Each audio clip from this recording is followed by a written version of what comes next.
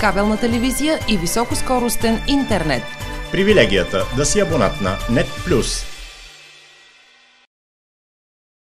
Спортен клуб по борба Биреал с отлично представяне на държавния личен отборен шампионат за момчета в класическата и свободна борба, който се проведе миналата седмица в Сандански.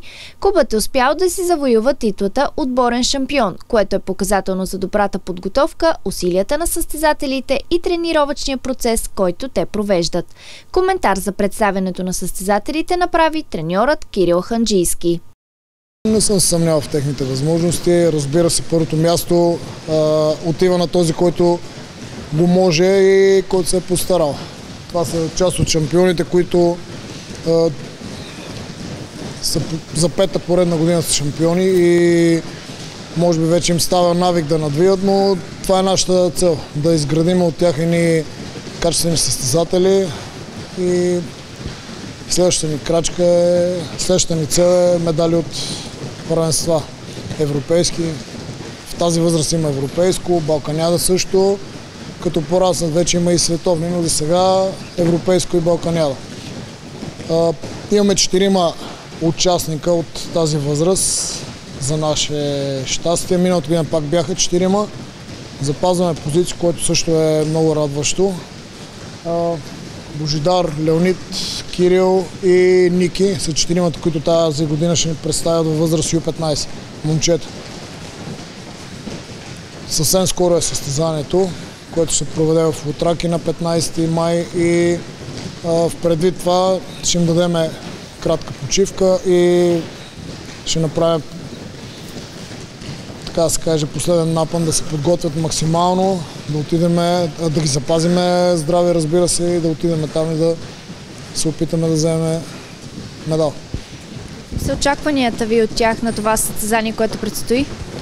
Преди това, че са рутинирани състезатели, имам очаквания. Разбира се, задължително финали. Задължително финали, дали ще са за първи, втори, трети и пето, имат възможност, имат психика.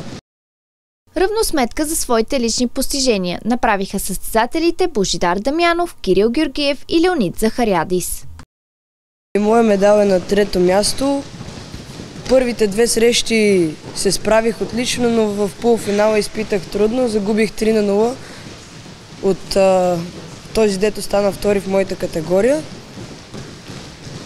И зимата станах първи на зимното състезание.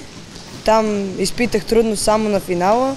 Победих го с 3 на 2. И това ми дава право на участие в Европейското първенство другия месец. За него как ще се подготвиш? Еми, ще натискам повече на силата и по-силни тренировки и мисля, че мога да взема медал. Кирил, ти с какъв медал си от а, шампионата в Сандански? Аз съм с трето място. Първата среща си го загубих от мои грешки. После надвих трима и си взех третото место. Зимата станах първи и финала ми беше най-труден. Това, и това ми дава право на участие на европейското. И Леонид, ти, ти си с първи медал, нали така? Първо злат. Първи на зимното само съм паднал на финала и сега имам право да ходя на европейско. Как се представи на държавния шампионат? Имаше ли трудност, която изпита там? И трудност, не да кажа много, ама Добре се справих, аз така си мисля. Спортен куп по борба Бирал има общо 6 метала от държавно личния отборен шампионат в Сандански. Кабелна телевизия и високоскоростен интернет. Привилегията да си абонат на NET+.